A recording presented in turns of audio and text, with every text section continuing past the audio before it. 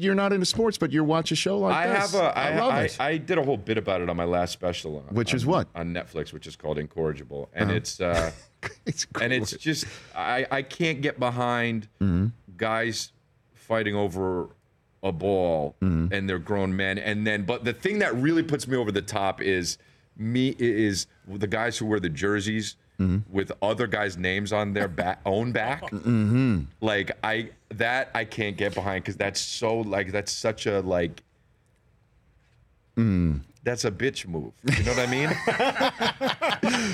like, come on, man. Chris D'Elia here on the Rich Eisen Show. XOXO available on Netflix this Friday. Our our uh, rule is Yeah.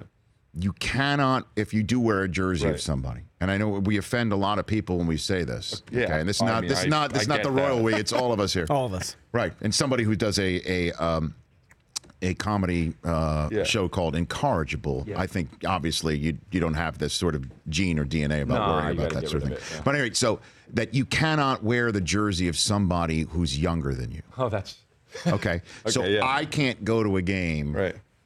Like say a Jet game and That's wear the funny. current That's jersey of, funny, of yeah. Ryan Fitzpatrick, but I can go with a Namath jersey. Right, right, right. That's fine. Okay. But if I am a 45 year old man, That's a good rule. It's a good for- rule. a good hard and fast rule, I think that there's not. Yeah, Right, what do you because think? it's like, come on, you can't idolize somebody younger than you. That's the I mean, I mean, you can, you can admire them, but you can't put their outfit on.